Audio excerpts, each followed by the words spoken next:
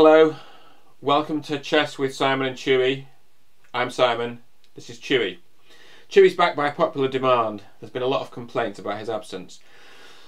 Anyway, um, today we are going to look at creativity, beauty and surprise in a Grandmaster simultaneous display.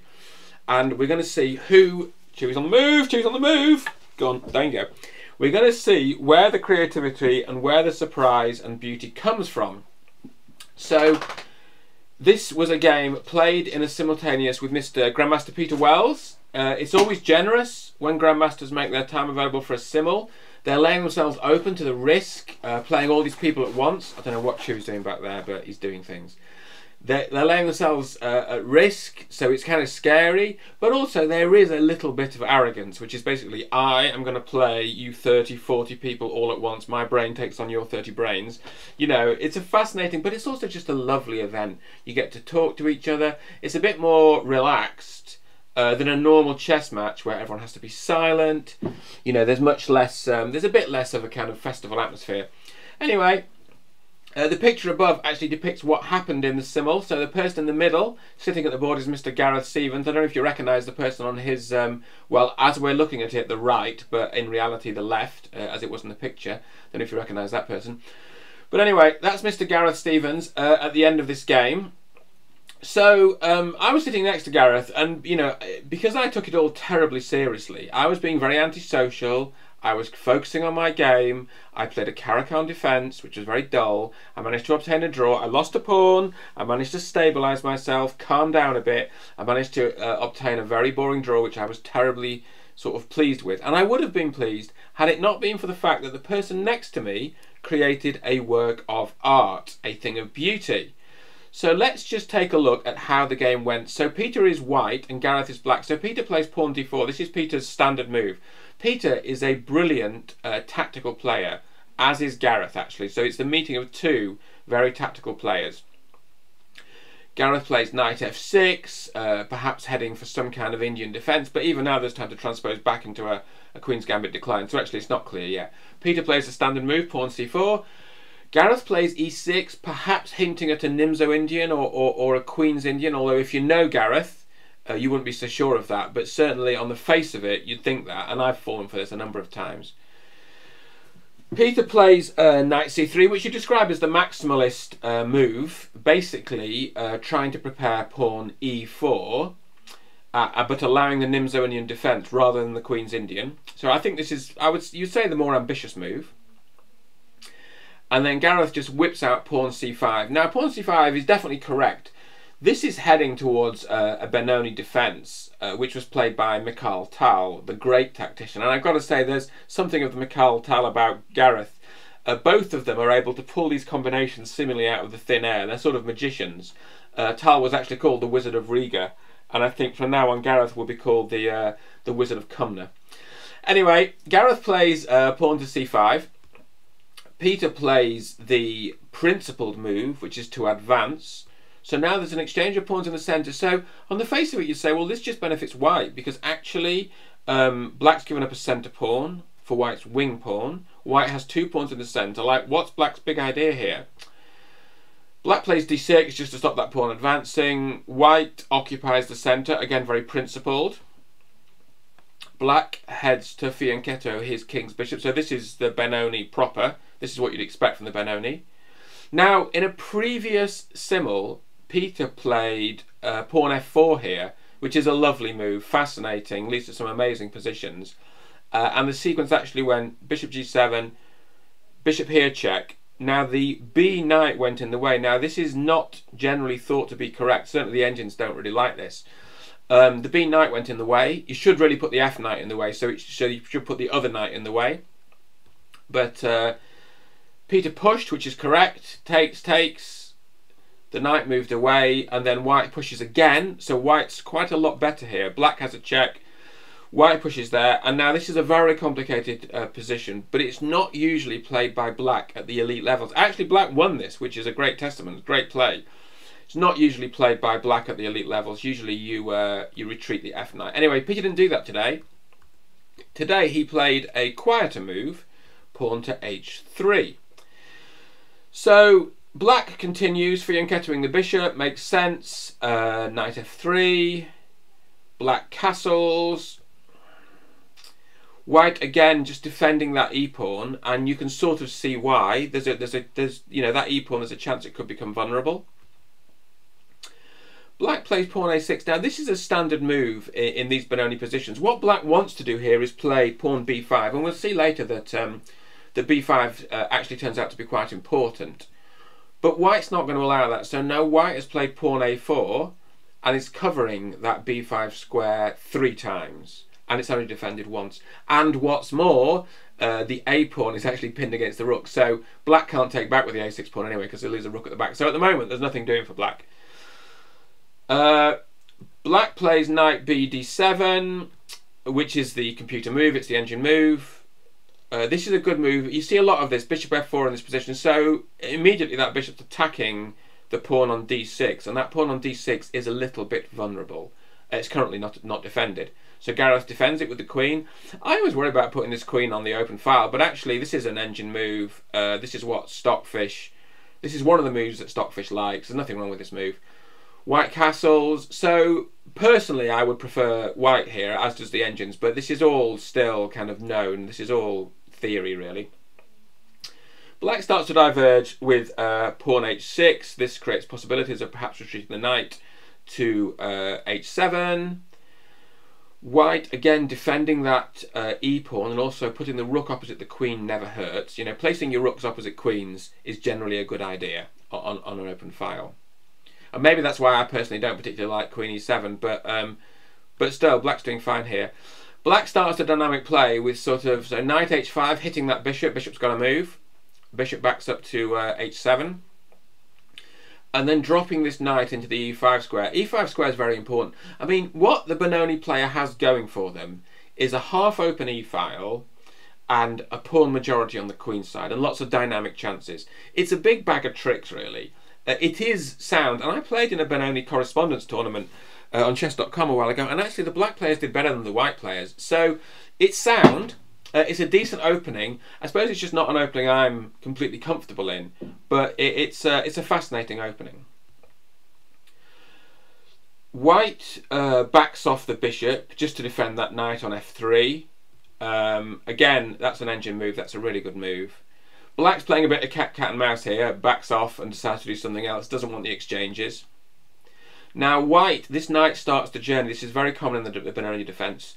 The white knight starts the journey from d2 to c4, and then on that c4 square the knight will be very secure because there's no b5, uh, at least not now, and also because that knight on c4 is attacking the pawn on d6. It's quite hard to defend. So this is a this is a standard uh, process and also, look, that knight on h5 is attacked. So now if I was black, I'd be a little bit worried about this. So black retreats the knight on h5. White pops into c4 as predicted. Again, black's knight moves back, looking for activity, looking for new ways to do interesting things. White plays pawn uh, a5. Again, this is a super move and it's one that's worth thinking about. So this is basically pinning down the black queen side. So what you're trying to stop here is pawn b5 because you're taking en passant. Um, so and it sort of stops it forever as long as you can defend that pawn out on on a5 and currently it's defended by the rook and the knight and it's not attacked so currently it's great. Black uh, again is looking for uh, ideas. Uh, the knight drops back into that important e5 square but it gives white this fork on b6 so that b6 square is a beauty.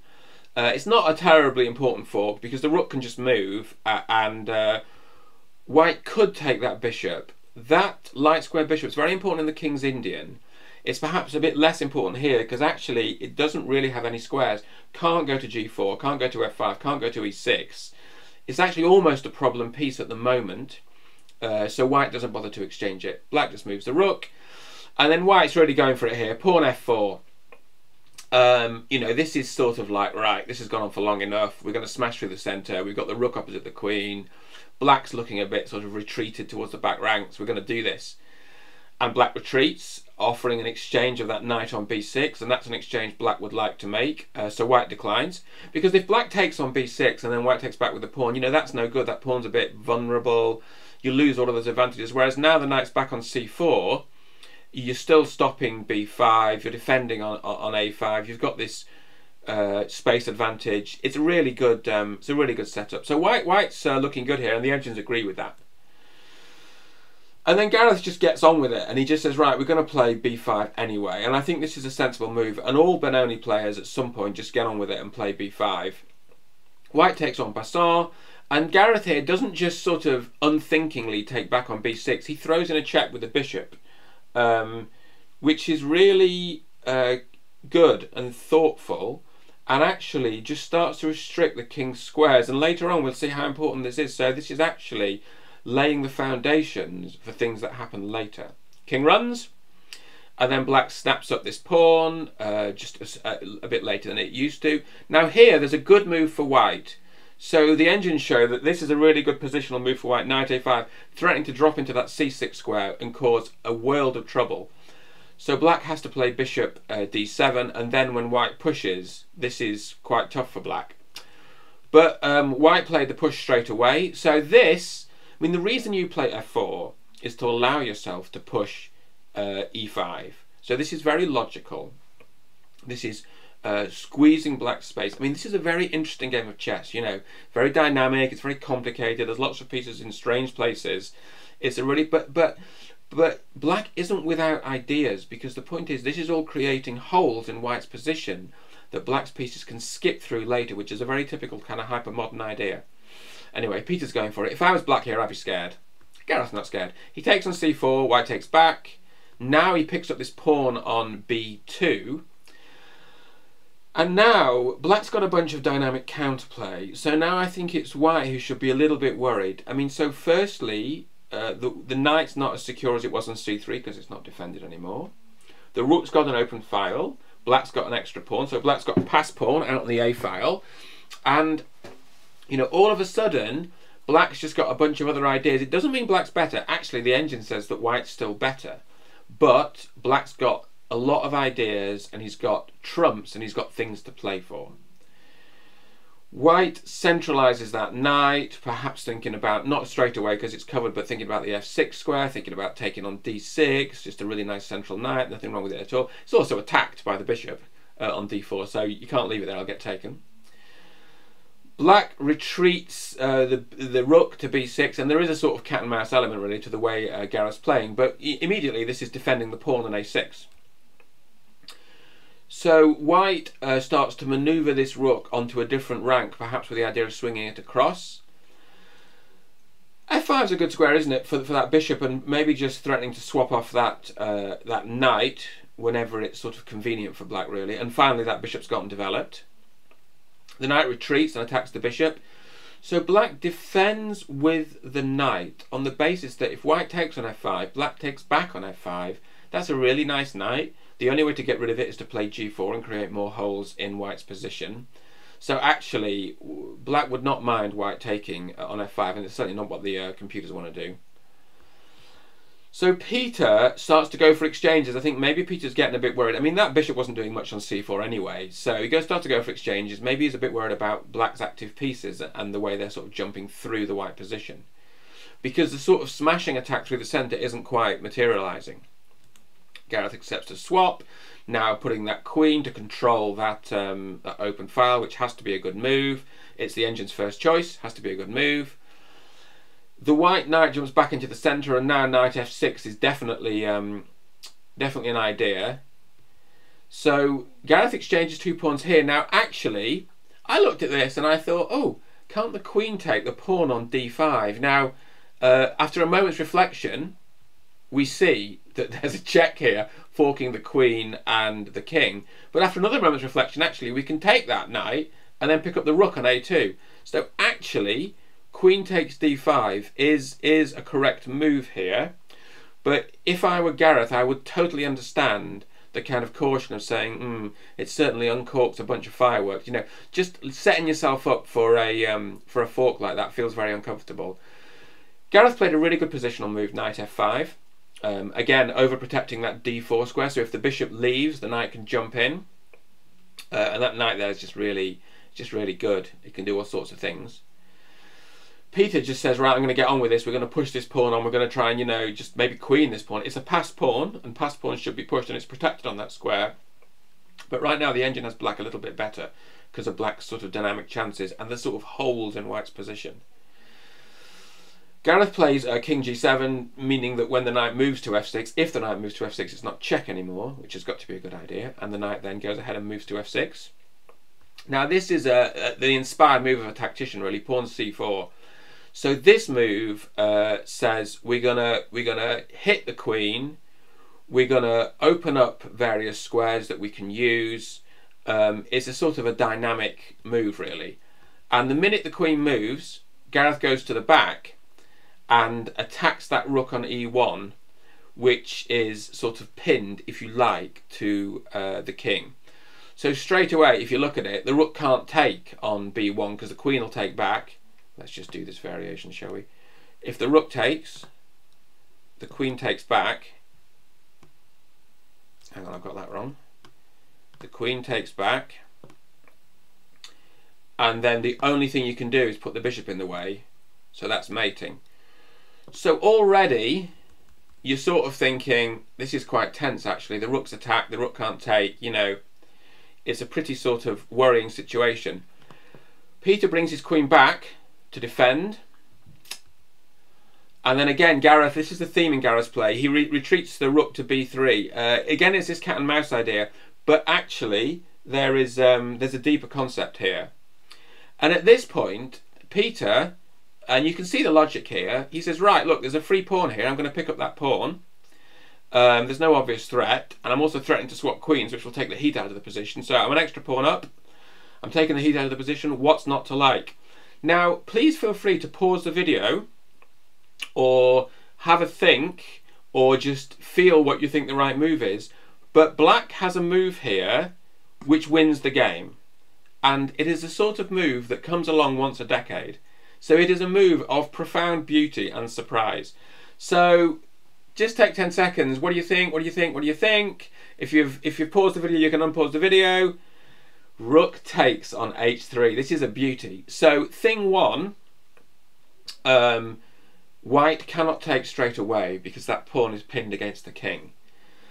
But thing two, we've got a threat. The threat is that the knight's going to come to g3 and it's checkmate when the knight comes to g3. So the point is, let's just say white takes the queen. So this is a queen sacrifice, technically. White takes the queen, which is hanging.